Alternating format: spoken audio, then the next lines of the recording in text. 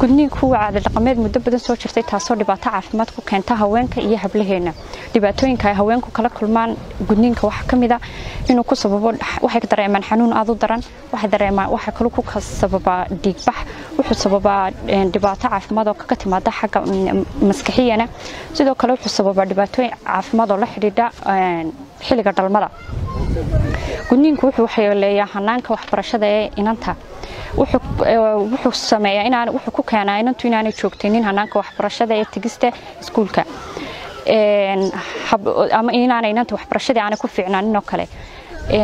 Si looga hortago dhibaatadaas xalku muxuu yahay?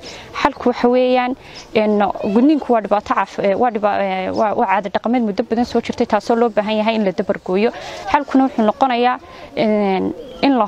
in la helo sharci ka hortegaya fariintaydan maanta waxay ku waajahsan tahay gabadh kaste haweeney kaste inan yaroo kaste hooyo kaste gudniinku saameyn weyn buu ku yeeshaa marxalad kasta oo nolosha haweenka caruurnimadeeda saameyn buu ku yeelanayaa oo ilmo yaraa marka la soo jaro dhiigbax baa ku dhici kara caabuq baa ku dhici kara.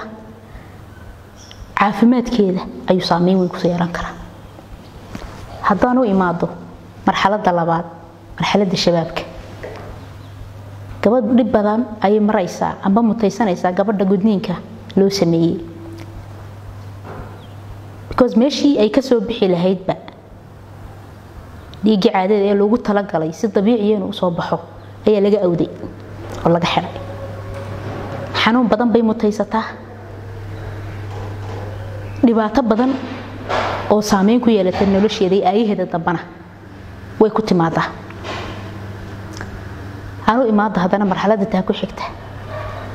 Gabadhii maanta waa haweeney waa la soo doontay waa aroos oo waa caruusad.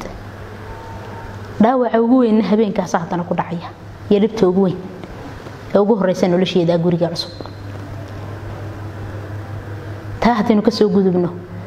Marxaladaha nolosheeda oo keliyaata markaynu ka soo gudubno haddana gudniinku haweenta wuxuu ku saameynayaa markay wax soo saarkeedii xataa. Ayuu dhaawacayaa.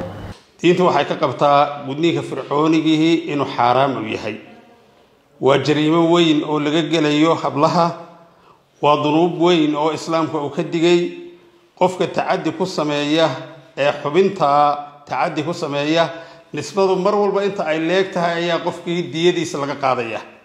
Hadday dhammaanba lagu wada tacadiyo qofkii ku tacadiyay diyadiisii oo kaamila aya gabadhii ay ku leedahay. Kalabadh haddii loogu tacadiyana sidaasoo kale waayo dumarka islaamku si gaara ayaa u ilaaliyey. Ilaahay waxuu nagu manaysay islaamnimada waqti dumarka la adoonsan jiray la xabaalnololin jiray la dhibaatayn jiray. Dabadeedna daryeelkooga ilaahay subxaanahu wa tacaala iyo nimcada uu nasiye inay yihiin ayaa la inoo sheegay. Rasuulku calayhi salaatu wasalaam waa kale aniga iyo ninka laba hablood koriye oo agoomiyahi kahaatayni saasoo kale ayaa nahay. Saa darteed haddaba jariimadani waa tu inaga soo gashay magacu siduu xambaarsan yahay. Fircoon maaha waxa weeyaan shay jariimo oo dembi ah sidaa darteed waa dembi weyn oo ciqaabtiisa leh